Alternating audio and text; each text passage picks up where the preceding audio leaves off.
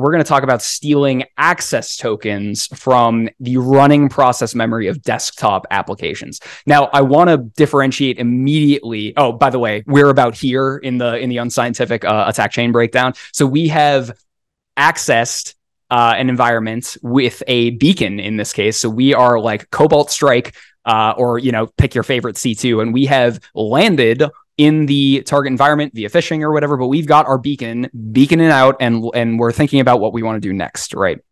And so uh, this is one that blurs the line between what happens when you have on-premise access and what happens when you have uh, cloud access and how you can maybe move from one to the other. And so we are after our endpoint compromise. So your traditional like landing your cobalt strike beacon but before you have actually compromised any identities we're going to look around as an attacker and we're going to say okay i know that m365 is used in this environment but what are some ways that i can move up into the cloud?